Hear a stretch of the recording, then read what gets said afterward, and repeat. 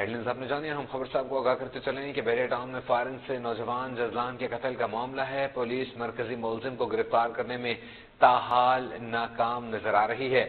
मुलजमान की गिरफ्तारी के लिए टीम भी तश्कील दे दी गई है। मजीद तफसात जान लेते नुमाइंदे की टनवा न्यूज़। अदनान, राजपूत से अदनान, कई दिन गुजर गए, अब तक मरकजी मुलजिम गिरफ़्तार न हो सका। क्या वजूहत सामने आ रही हैं?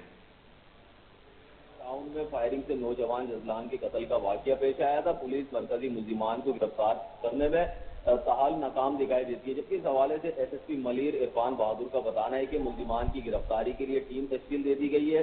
S S P investigation Malir S SP गडाफ P investigation और एस आई ओ तहकीकाती टीम का हिस्सा है।